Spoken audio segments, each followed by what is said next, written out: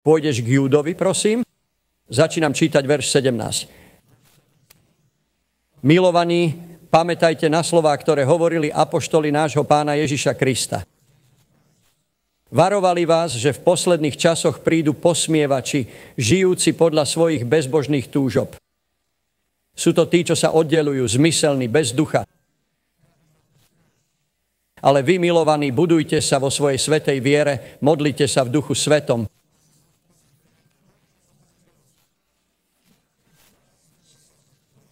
To je moje posolstvo. Zotrvávajte v Božej láske, očakávajúc milosrdenstvo pána Ježiša Krista k väčšnému životu. Teraz, nebeský Otče, som na Tebe úplne závislý. Duchu Svetý, spolieham sa na Tvoj dotyk. Moje slová vyznejú na prázdno, ak neprídeš a neoživíš ich. Pane, posvetil si túto nádobu. Dal si mi to zo svojej trónnej siene. Nezískal som to z knihy. Dostal som to z tvojho srdca. Vložil si mi to do srdca, aby som dnes hovoril. Vedel si, kto tu bude. Vedeli ste, čo všetci potrebujeme, tak vám to dávame a modlíme sa, aby to duch pánov oživil. V Ježišovom mene sa modlím, amen. Zachovávajte sa v Božej láske. Pred 35 rokmi mi pán vložil do srdca založiť chlapčenský domov v Amityville na Long Islande, nedaleko odtiaľto. Po roku a pol sme ho museli zatvoriť kvôli prísnym obmedzeniam, ktoré štát zaviedol. Boli také ťažké, že sme nemohli fungovať. Nemohli sme fungovať, lebo chceli, aby sme mali psychológa na plný úvezok. Ak som prijal katolíkov, musel som mať kňaza na poradenstvo. Ak boli Židia, musel som mať rabína. Už som to nemohol robiť, tak sme to museli ukončiť. A 35 rokov som sa pýtal, prečo to Boh dopustil. Prijali sme len štyroch chlapcov na rok a pol, stratil som kontakt a myslel som, že to bolo jedno z najväčších zlyhaní. Ale minulý týždeň som dostal list a bolo to od muža menom Clifford, ktorý napísal Pastor Dávid, bol som jedným zo štyroch chlapcov poslaných do vášho domu v Amityville pred 35 rokmi detskou agentúrou okresu Nassau. Moji rodičia boli Židia, ale rozišli sa matka sa znovu vydala a bola taká rebelka, že ma dala do katolíckej školy. Keď som mal 11, pokropili ma v katolíckom kostole. Hneď potom sa náš domov stal nefunkčným. Musel som upratovať, variť, starať sa o brata a mamu a pritom roznášať noviny skoro ráno. Raz som sa vlámal do matkinej spálne a našiel ju na zemi s penou na ústach – obklopenú prázdnymi flaštičkami od liekov. Navštevoval som obrovskú katolícku katedrálu. Chodil som na spoveď, pokľakol som, modlil som sa rúženec, ale len som sa Boha bál. Bol som presvedčený, že sa o mňa nestará. Ani ja, ani moja matka sme nevedeli, že ma sociálny pracovník umiestni do vášho domova, tak som sa zúfalo snažil dostať, Zúfalo som chcel uniknúť zneužívaniu nevlastného otca. Chudobe a pokusom matky o samovraždu, tak som šiel s vami do vášho domova.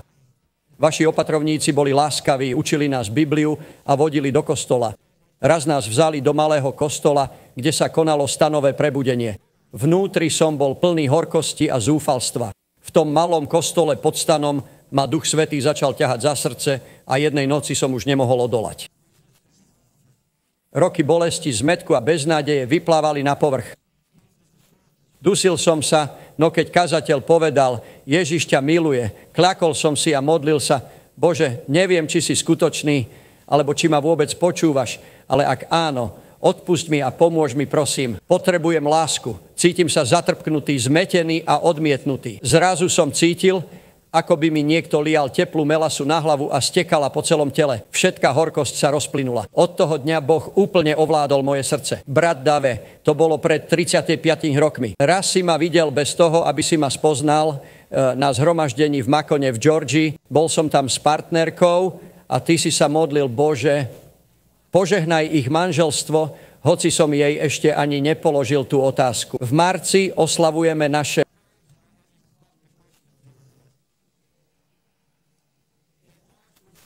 25. výročia. Teraz ma Boh vedie k službe na plný úvezok. Bol som povolaný kázať. Našiel som vás, pane, cez internet.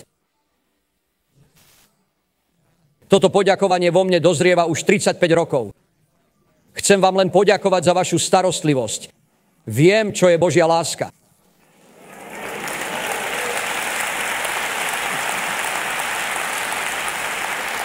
Dokazuje to, že nič pre Krista nie je márne. Len požehnanie, ktoré mi pán dal minulý týždeň. Tento chlapčenský domov nebol zlyhaním. Tu je mladý židovský chlapec, ktorý ide slúžiť len pre lásku, ktorú zažil v domove v Amityville, čo som považoval za zlyhanie. Je smutné, že mnohí vyrastajú v horkosti a odmietnutí, nepoznajúc nič o Božej láske, nikdy nemali milujúcich rodičov a tak nevedia, ako sa vzťahovať k Božej láske. Ale poviem vám, je rovnako smutné a tragické, že mnohí veriaci, ktorí prišli do kostola, okúsili Božiu lásku, poznajú teológiu a učenie o Božej láske, nikdy skutočne nevstúpili do plnosti lásky, nikdy skutočne sa udržiavali v Božej láske vchádzajú a vychádzajú z nej podľa pocitov. Je tragické, že mnohí kresťania vedia tak málo o Božej láske. Celý život som kázal o Božej láske. Zažil som Božiu lásku. Poznám teológiu Božej lásky. Minulý týždeň, keď brat Nino González kázal, spomínal Božiu lásku.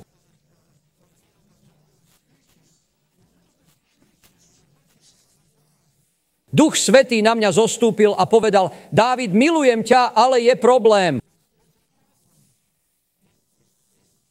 Nechcem, aby si pokračoval ako doteraz, mám pre teba viac. Duch Svetý mi zašepkal, nikdy si nevstúpil do plnosti Božej lásky. Nikdy si nepochopil jej veľkosť. Bol si len na okraji. Je tu celý oceán na plávanie a ty si len počlenky. Povedal som, pane, o čom to hovoríš? Usmernil ma, hoci kázanie prebiehalo. Neodporúčam to robiť, ale ja som pastor. Takže Efezanom, otvorte si Efezanom 3 a ukážem vám, čo mi Duch Svetý zjavil v 3. kapitole.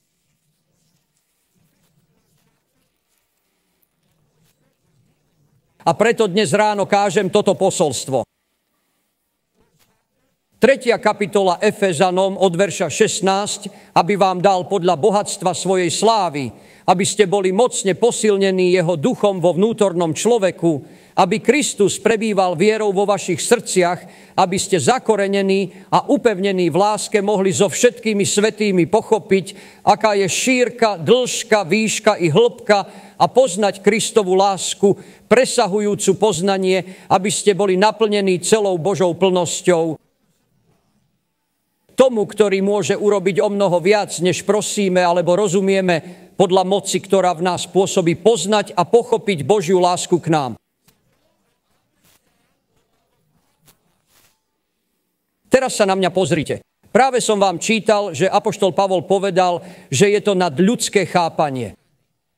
Pozrite, Biblia hovorí, že máme poznať a vnímať Božiu lásku, jej plnosť, šírku a slávu, a predsa hovorí, že je to mimo ľudského chápania. Potom vraví, zostaňte v Božej láske. Ako zostať v Božej láske, ak jej nerozumieme? A ako jej rozumieť, ak je nad ľudské chápanie? Znie to ako začarovaný kruh. Však, viete, je to dielo Ducha Svetého. Ducha Svetého nepochopíte len čítaním knih. Božiu lásku môžete pochopiť. Ľudskou myslou ju však nepochopíte. Musí to byť zjavenie Ducha Svetého. Aleluja. Zjavuje nám to Duch Svetý. Som ako mnohí kresťania skúmam písmo, aby som sa naučil, ako ho milovať.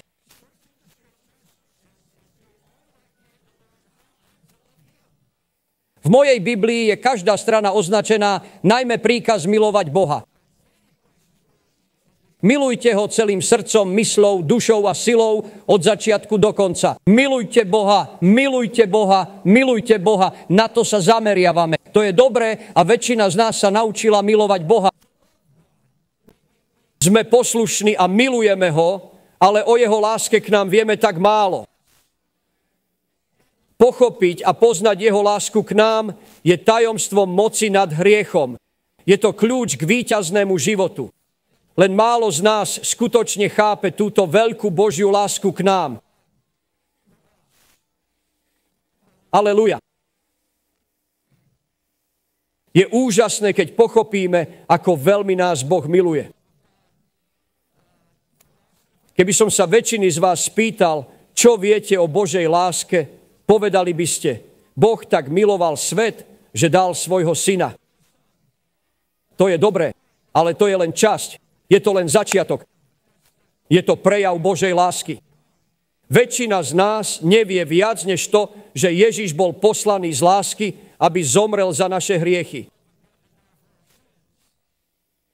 Pavol nás však uistuje, že v nás je moc, ktorá nám umožňuje dosiahnuť viac, než si vieme predstaviť.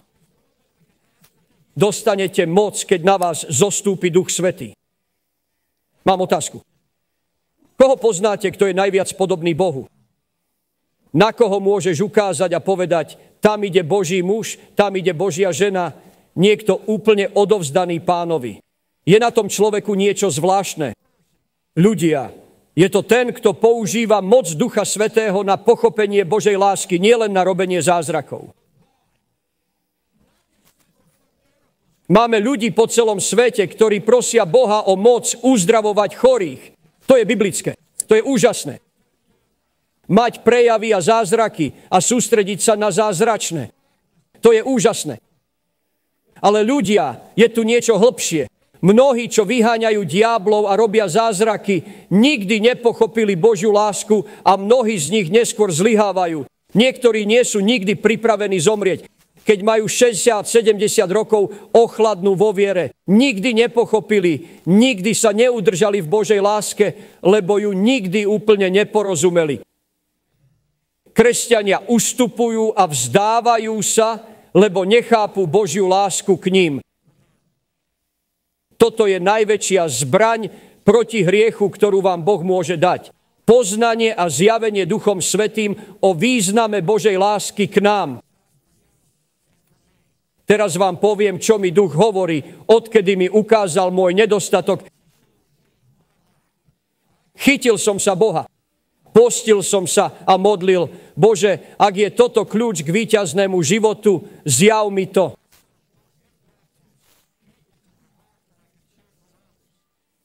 Poviem vám pár vecí, čo mi duch hovorí o Božej láske k nám. Najprv pozorne počúvajte. Boh miluje svoj ľud práve teraz. Miluje nás rovnako ako svojho syna sediaceho po jeho pravici. Miluje nás rovnakou láskou ako Krista, lebo sme jeho telom. On je hlava, my sme jeho telo. Ako môže milovať hlavu bez toho, aby miloval zvyšok tela? Ako môže milovať hlavu viac ako, ako môžeš milovať svoju ženu len jej hlavou?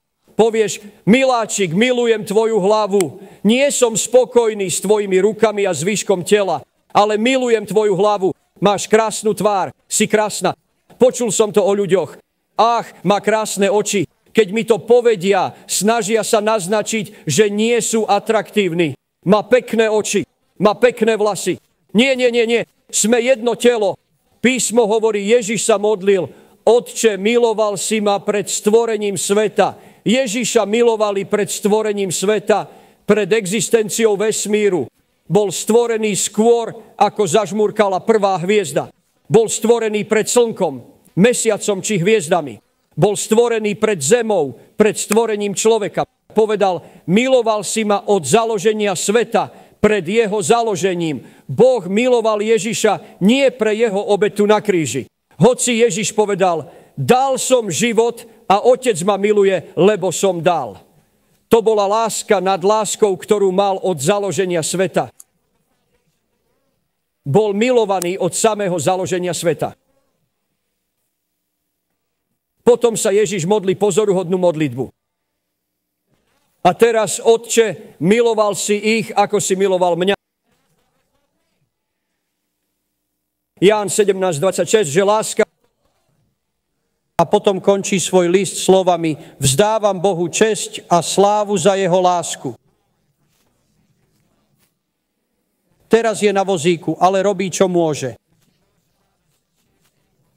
Keď hovorí ľuďom pravdu z lásky, vravia, že je stále pod mocou diabla. Nechcú počúvať pravdu. Ale život tejto ženy a jej list ma veľmi oslovili. Bol to dlhý list. Povedal som vám len časti. Povedala, že Božia láska ju zachránila od moci a temnoty čarodejníctva. Priatelia, toto je živý príklad, živá kázeň, život tejto ženy. Už 20 rokov sa drží mocou ducha v Kristovej láske. Miluje Ježiša viac než na začiatku. Pán ju miloval, aj keď bola čarodejnicou. Odpustil jej, nenávidel jej čarodejníctvo, ale videl niečo v jej srdci. A dnes ráno vidí niečo aj vo vašom srdci. Jediná vec, jediná vec. Čo bráni Bohu zmeniť váš život, je štít na vašom srdci, a odmietnutie Ducha Svetého, ako by ste povedali, nechcem s tým nič mať. Čo potom môže Boh urobiť? Ale jeho láska je tu, aby zachránila a zmenila životy. Postavíte sa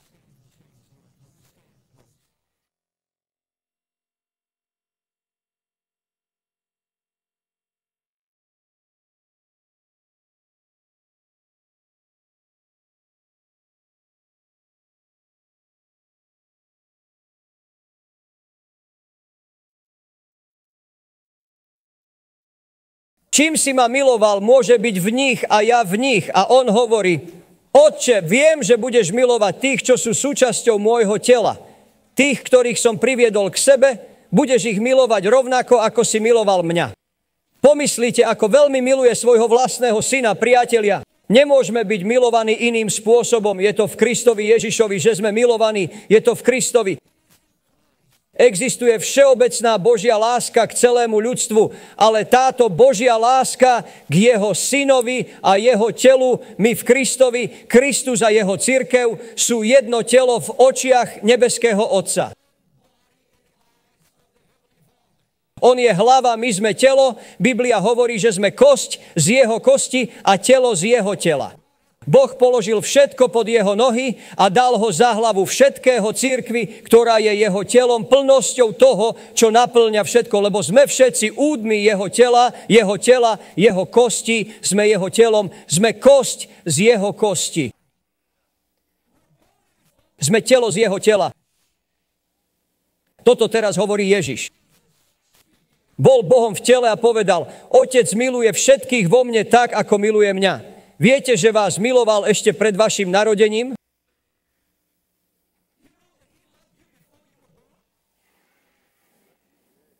Verím v neobmedzené predpoznanie Boha. Verím, že Boh mal toto na mysli, mal vás na mysli. Keď mal na mysli človeka, hneď ako mu napadlo stvorenie človeka, už počítal vaše časti, hovorí písmo.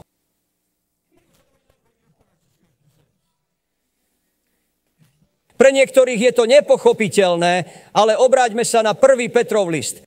Prosím, nalistujte si prvý Petrov list a ukážem vám to. Teraz, priatelia, je tu veľa z písma. Prosím, pozorne ma sledujte. Prvý Petrov list, prvá kapitola, verš 18 až 20.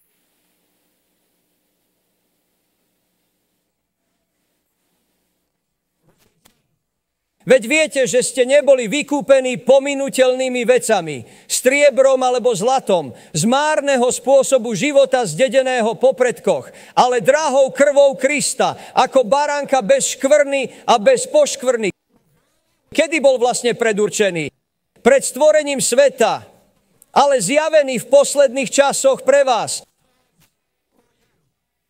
To je absolútny, absolútny dôkaz, že Ježiš bol milovaný a my v jeho tele láska pred stvorením sveta.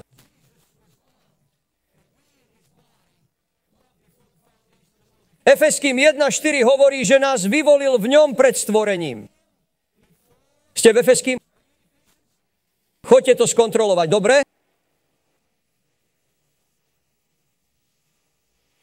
Ach, poďme do Efeským, som tam. Nie ste? Poďte so mnou do Efeským, prosím.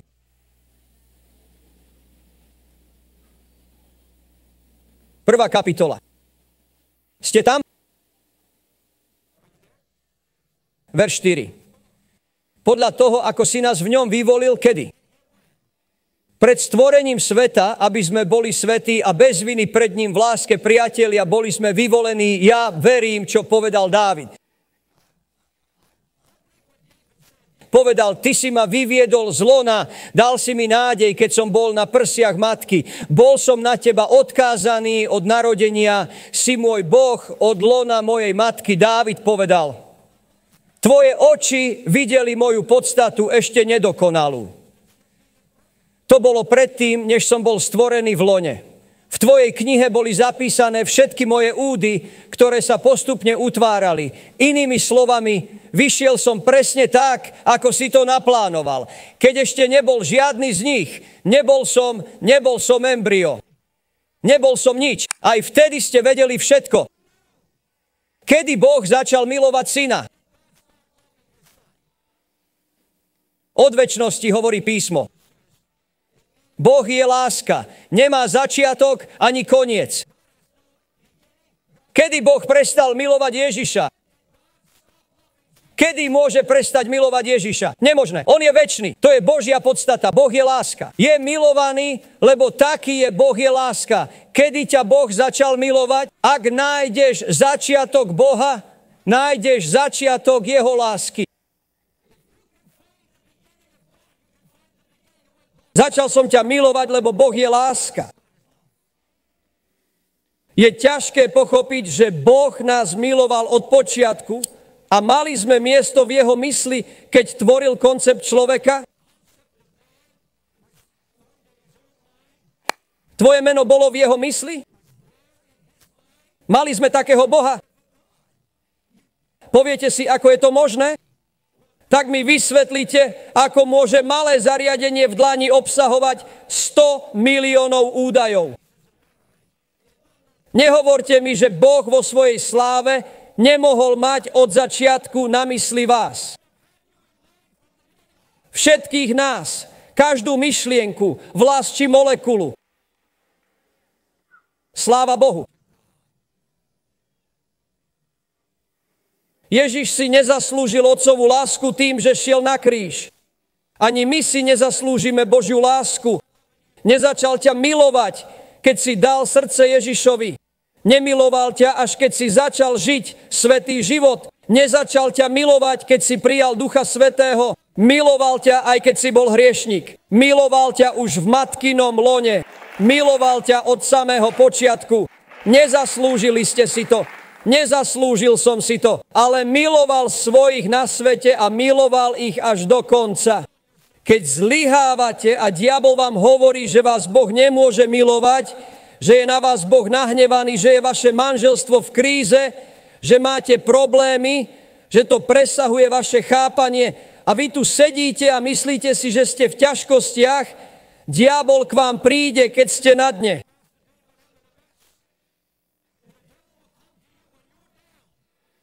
Príde, lebo taká je jeho povaha. Je ničiteľ, je klamár. Príde a zaútočí na Božiu lásku.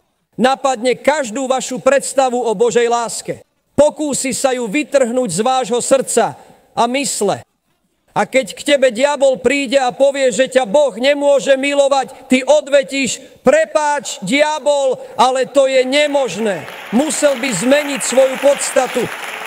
Boh ma bude milovať, kým bude Bohom. Je nemožné, aby ťa Boh prestal milovať. Nebol by Bohom, lebo Božia láska je jeho podstata. Sláva Bohu. Nech to prenikne do tvojho srdca. Zostaňte v Božej láske. Inými slovami, držte sa tejto pravdy, nikdy ju nepustite. Náš Pán Ježiš a Boh Otec, ktorý nás miluje, dal nám väčšnú útechu a nádej skrze milosť povedal, toto je tvoja útecha, toto je väčšiná láska. Nikdy nezačala, nikdy neskončí. Je to odveke. Aleluja. V tom je láska. Nie, že my milujeme Boha, ale že On miloval nás. Milujeme Ho, lebo On nás miloval prvý. Teraz vám poviem, čo pre mňa znamená zostať v Božej láske. Milovaný je to vedieť, veriť a dôverovať tejto láske aj v ťažkostiach. Dokonca aj vo vašich bojoch. Hovorí, drž sa toho. Každý to zvládne v radosti. Každý to zvládne v duchu svetom. Každý to zvládne bez pokušení. Ale chce, aby si zostal v Božej láske cez všetky pokušenia, boje a ťažké časy. Vydrž. Vždy si uvedomuj Božiu lásku k tebe. 1. Ján 4.16 hovorí, spoznali sme lásku, ktorú má Boh k nám a uverili sme jej. Boh je láska. Kto zostáva v láske, zostáva v Bohu a Boh v ňom. To je úžasné vyhlásenie. Ak som v láske, som v Bohu. Kto zostáva v láske, zostáva v Bohu. Boh hovorí, ak príjmeš túto pravdu, žiješ ako chcem. Žiješ vo mne. Pochop túto pravdu. Nepúšťaj ju. Drž sa jej. Zostávať znamená byť v očakávaní, v poznaní, mať srdce v bojoch.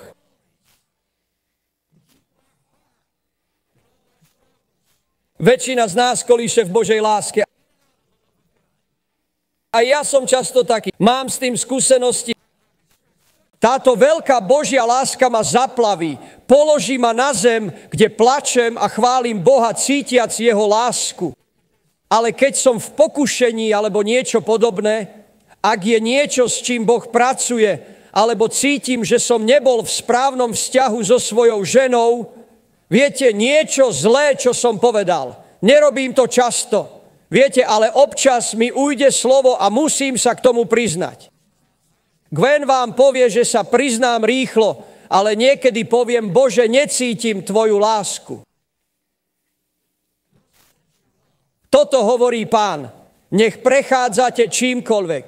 Nech je vaša skúška akákoľvek. Nikdy nepochybujte o mojej láske k vám. Počujte znova. Vieme a veríme. Máte to vedieť a veriť tomu bez ohľadu na to, akou skúškou prechádzate. Sedíte tu dnes ráno. Je jedno, ako veľmi vás premáha pokušenie. Je mi jedno, počúvajte pozorne. Je mi jedno, či ste minulý týždeň zlyhali pred Bohom. Je mi jedno, či starý zvyk alebo hriech prišiel a úplne ťa zmietol. Ak si tu, nenávidíš to, oľutoval si to a teraz sedíš a pýtaš sa, brat Wilkins, Boh to len prehliadne? Nie, nie, nie, Boh ťa potrestá. Ale pamätaj, že trestá tých, ktorých miluje. Stále je to v Božej láske. Áno, bude karhať. Ak myslíš, že je to ľahké, nie, nie je.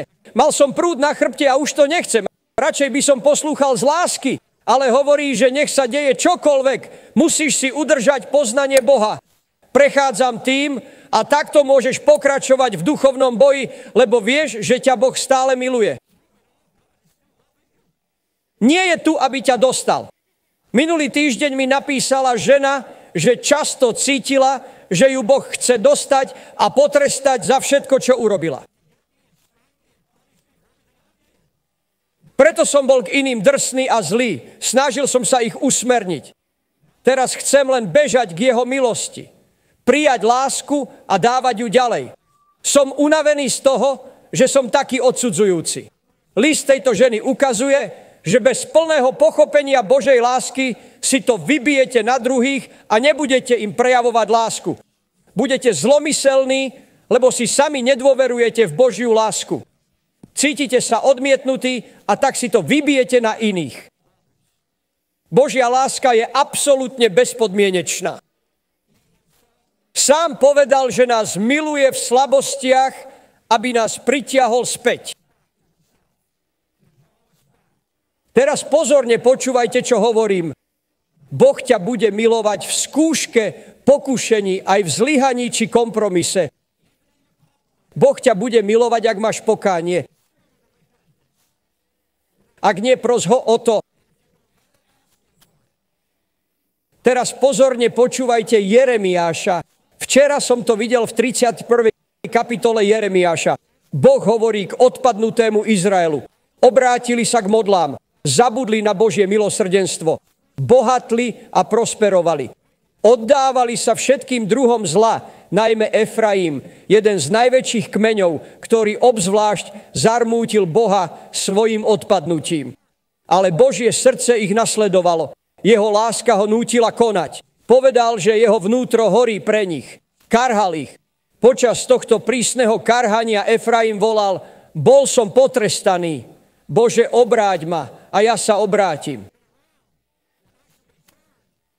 Keď sa obrátim, budem činiť pokane. Boh povedal Efraimovi, hoci som hovoril proti tebe, stále na teba myslím, lebo moje vnútro je pre teba nepokojné. Určite sa nad tebou zľutujem. Zamyslite sa nad tým. Sú to modloslužobníci. Sú to cudzoložníci. Sú to smilníci. Sú zlí. Sú skazení. Ale zrazu sú z toho všetkého sklamaní nenachádzajú v tom potešenie a volajú, Bože, sme stratení. Efraim hovorí, potrebujem sa obrátiť. V tomto procese túžby po obrátení Boh hovorí, moje vnútro je pre teba nepokojné. Túžim po tebe. Stále ťa milujem a preukážem ti milosrdenstvo. Hovorím každému, kto ma počuje, bez ohľadu na to, kde ste alebo čo ste urobili. Ak ste ho niekedy poznali alebo milovali, Neprestal ťa milovať, nech je tvoj boj akýkoľvek.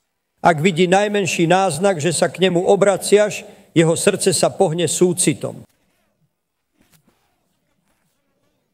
A povie, prídem k tebe a preukážem ti milosrdenstvo.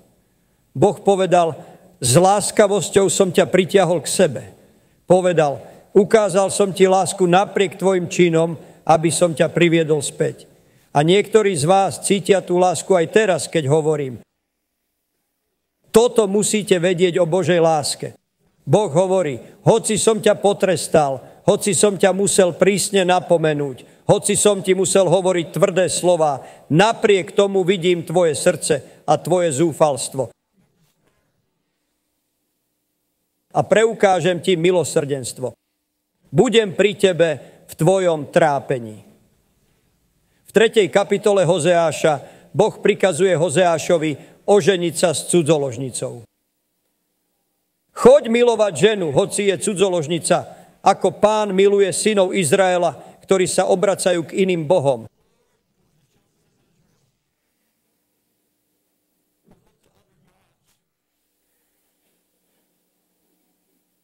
Hozeáš sa ožení s cudzoložnicou. A je to svedectvo, názorná kázeň pre Izrael. Boh hovorí Izraelu, svojmu ľudu, ty si nevera. Spáchali ste proti mne duchovnú neveru. Nie ste tam, kde by ste mali byť. Zhrešili ste proti poznaniu. Miloval som vás. Dal som vám všetko. A predsa ste sa obrátili proti mojej láske. Odmietli ste ma. Ale on hovorí, som s vami v manželstve. Som s vami v manželstve a hovorí, pozrite, čo prorok urobil na môj príkaz. Žiadal som ho, aby si vzal ženu, čo ma podviedla. Hozeáš tej žene vraví, budem ti mužom, ak ty budeš mojou ženou. Len príď a buď mojou ženou. Príď, oddel sa od iných a oddaj sa len mne. A to je volanie Ducha Svetého k vám dnes. Ježiš Kristus je s vami v manželstve. Jeho srdce, predstavte si, robí to z otcovej lásky k ľudu.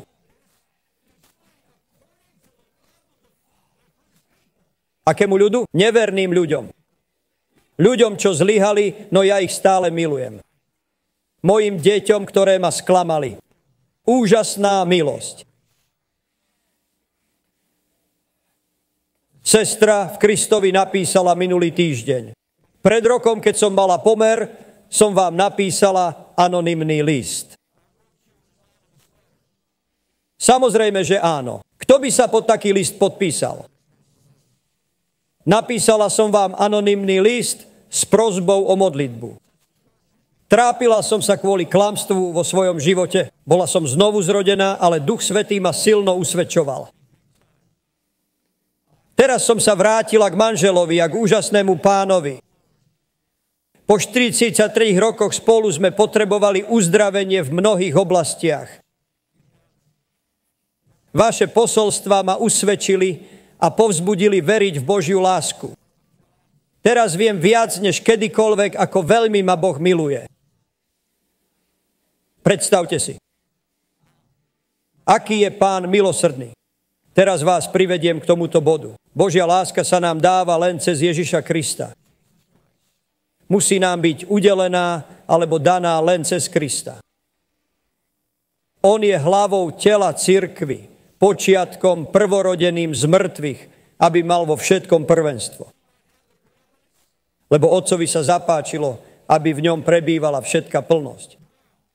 Všetko, čo je v Bohu, je v Kristovi. Všetka jeho láska bola vložená do Krista.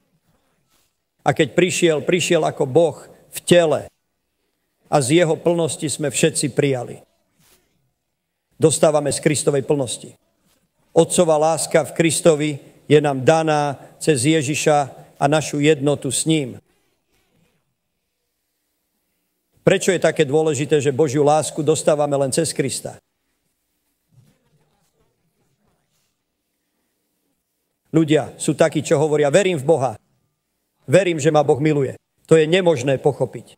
Je nemožné to pochopiť bez poznania Ježiša Krista kulty a náboženstva, čo tvrdia, že Ježiš bol len prorok. Neboh v tele nikdy to nemôžu pochopiť. Božiu lásku alebo do nej vstúpiť. Je to nemožné. Pretože prichádza k nám cez Ježiša Krista. Ježiš ukázal Božiu lásku vo svojom tele. Bol plným prejavom Božej lásky ľudstvu.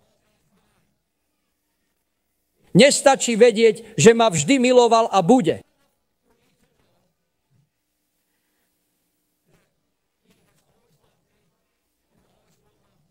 To nestačí. Nestačí vedieť, že zomrel za mňa z lásky. Nestačí vedieť, že ma bude milovať v bojoch. Ale aký je v tom zmysel? Kam nás to vedie? Toto plné poznanie Božej lásky. Aký účinok? Všetko, čo Boh robí, nás musí ovplyvniť. Týka sa to nášho každodenného života. Ako to je? Čo z toho vzíde? Čo to robí? Ako ma to mení? Pozrite sa na Kristov život. On je náš príklad. Nie človek. Človek nie je náš príklad. Keď počujeme o Božej láske, mnohí kresťania ju berú ako výhovorku, aby ďalej hrešili. No veď Boh ma miluje, mám zjavenie. Nie je to úžasné? Milosť väčšia než moje hriechy. Tak zneužívajú túto lásku a milosť a pokračujú vo svojich hriechoch. Môžem sa kajať a hrešiť, kajať a hrešiť a tak sa hojdajú. Hriech, pokánie, hriech, pokánie, ale Boh ma miluje opitý, ako sa dá, ale Boh ma miluje.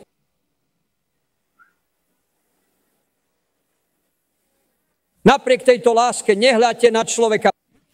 Musíte hľadiť na Krista ako príklad, aký vplyv mala otcová láska v ňom, ktorú dal celému svetu. Takto vnímame Božiu lásku, lebo za nás položil svoj život. Toto bolo ovocím Božej lásky. Obetovanie sa za iných.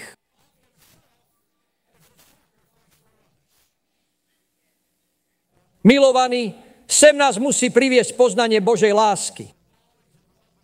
A toto, ak sa chcete udržať v Božej láske, musíte dospieť k tomuto bodu.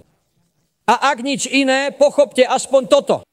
Už nebudem dlho kázať, ale toto musíte pochopiť a prijať a kráčajte, ako hovorí písmo, alebo zotrvávajte v láske. Zostaňte v láske, ako Kristus miloval nás a obetoval sa Bohu ako ľúbezná vôňa.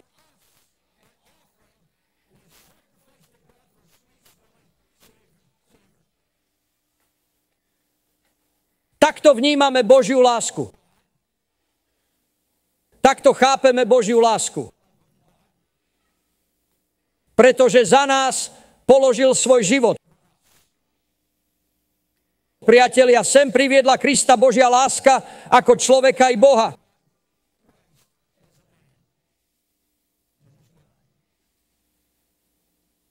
Prečítajte si ďalšiu časť verša a prosím, pozorne počúvajte. a my máme položiť svoje životy za bratov. Priatelia, toto mi Boh chcel povedať, keď som sedel na stoličke. Toto sa nám Boh snaží ukázať práve teraz. Keď viete, že ste milovaní, máte silu prekonať každé pokušenie. V tejto knihe sa môžete chopiť každej zmluvy a nového zasľúbenia. Viete, že Boh bude s vami na konci i počas zápasu a vyjdete z neho plne milovaní.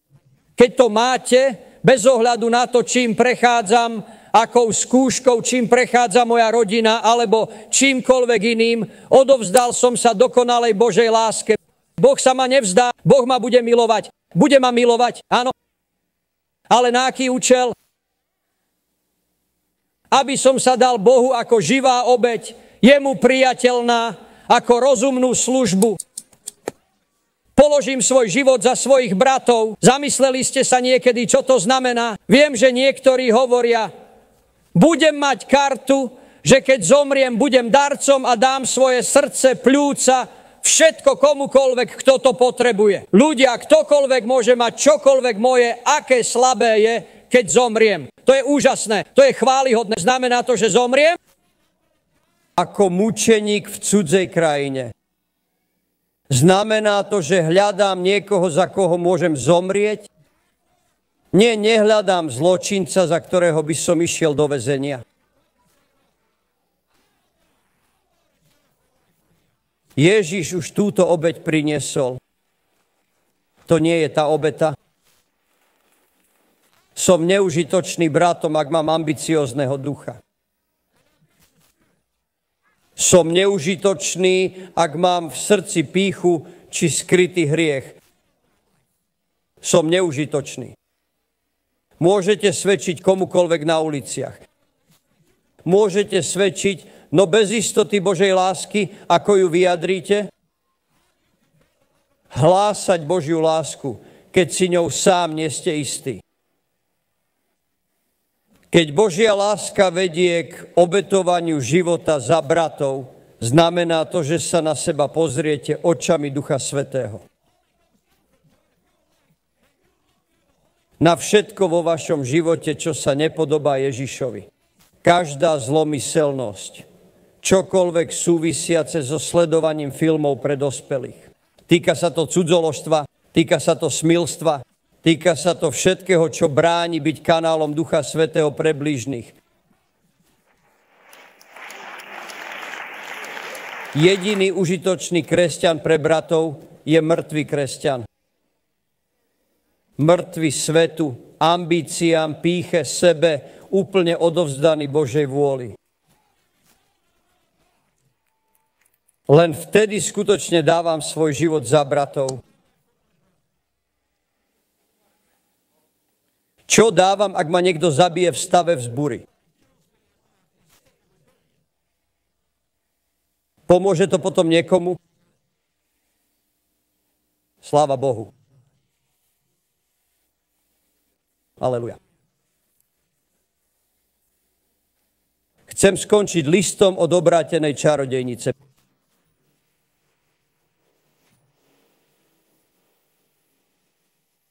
Pane, tie listy, čo dostávame.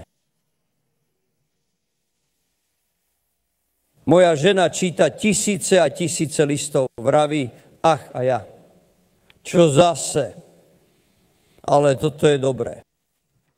Drahý pastor Dave, prišla som k Ježišovi po 10 rokoch čarodejníctva. Čítala som z kariet a robila som seansy doma. Darilo sa mi, bohatol som, jazdil som na športiaku. Keď som sa oddal Kristovi, Satan sa mi o 6 týždňov zjavil v spálni. Sľúbil mi, že budem čarodejnicou juhu, ak odmietnem Krista ochromil ma od krku nadol a pritlačil k posteli. Nevidel som Ježiša, ale cítil som, že prichádza. Vstúpil a povedal Luciferovi, nemôžeš ju mať, je moja. Satan ušiel ako obarený pes a zanechal hrozný zápach.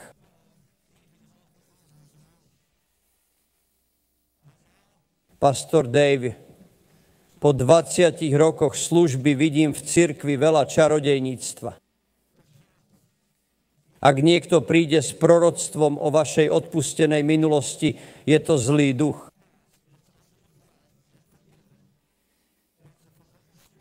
Duch Svetý by nespomínal nič z vašej minulosti, čo je odpustené. Ak Boh zabudol odpustené hriechy, len diabol by si ich pamätal. Priatelia, ak vám niekto povie niečo, čo nik iný nevie, Diabol to robí, aby vás presvedčil a spomenie niečo z vašej minulosti, čo je už odpustené, môžete odísť a povedať, prepáč, nepočúvam diabla. Povedzte to nahlas.